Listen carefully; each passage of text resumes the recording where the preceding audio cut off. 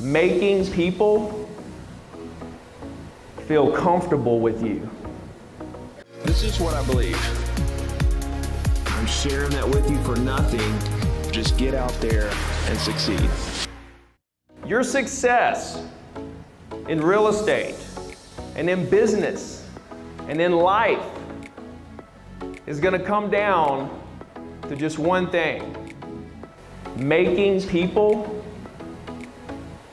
feel comfortable with you. Making people feel comfortable with you, with who you are. Now, I could have said all kinds of things right there, and you probably thought I was going to say several different things. The cliche things, right? It comes down to I could have said working hard, being a hard worker. I could have said your success will come down to being professional. I could have said it, it comes down to being honest. But let's, let's be real. If you're in this room right now and you want to be, you're here because you want to be a top producer. How many people here want to be a top producer? Okay, then, everybody, if you are in this room and you want to be a top producer, I shouldn't have to tell you that you got to work hard. I shouldn't have to tell you that you need to be honest or professional. That should be automatic. What I want to do is share something with you that maybe you haven't thought of. Why? Because I want to help you. I want to bring value to you. And I want to open up your mind to maybe a different skill that people don't necessarily talk about all the time that could really help you. And that is making people feel comfortable with you. If your client or your prospect feels comfortable with you, there's a good chance you're going to do business. On the other hand, if they do not feel comfortable with you, there's a good chance that you're not going to do business. So, how do we make people feel comfortable with us? The most simple way that I can explain it to make someone feel comfortable with you, all you have to do is be comfortable with them. If you're comfortable with them, they will feel that and they will in turn be comfortable with you. If you're nervous, if you're scared, if you're trembling, if you're not relaxed, if you're tight, they feel that energy, they feel that nervousness. And if you're nervous, now they're going to be nervous. And they're going to say, I don't know if I want to do business with this agent. Something's, they're scared, something's going on here.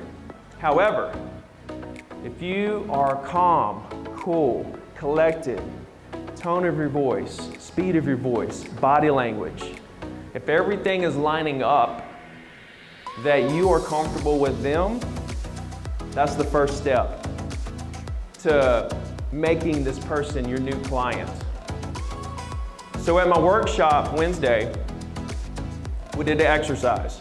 I want to explain the exercise to you right here so that you can start to try to apply this in your day to day to be comfortable with strangers because not everybody has that. And so, what I eventually came up with, and, and I kind of created a term, it's, it's called FE. And it stands for friend or family effect. And the idea is that we want them to feel like they're a friend or family. We want our clients to feel like they are our friends and family. Okay, so how do we translate this? Next time that you're talking to your mom, your dad, your brother, your best friend, somebody that you feel really, really comfortable with, I want you to just pay attention to that conversation. I want you to really think when you're talking to this person that you feel so comfortable with. You can tell them anything, they can tell you anything. They're comfortable with you, you're comfortable with them, everything's great. That's what you need to emulate with your clients. That's how your clients need to feel. So, what I want you to do is, next time you're having that conversation with someone, I want you to take a mental snapshot. I want you to, I want you to take that moment in time and just think about the tone of your voice, the speed of your voice, your, your body language. Are you tight? Are you loose? I want you to pay attention to every little piece of the communication between you and this person. I want you to start trying to emulate that when you talk to your clients. And it won't happen overnight. It will not happen the first time, maybe not the second time, maybe not for a week, two weeks, a month, but maybe in a week, two, three, four, um, uh, uh, a couple months later, Maybe you start to feel a little more comfortable with people and you see their reaction of how they're comfortable with you because of it, and then you start doing it more. And you do it with more clients and more clients and more clients, and before you know it, you have a huge army of clients who all see you as friend or family.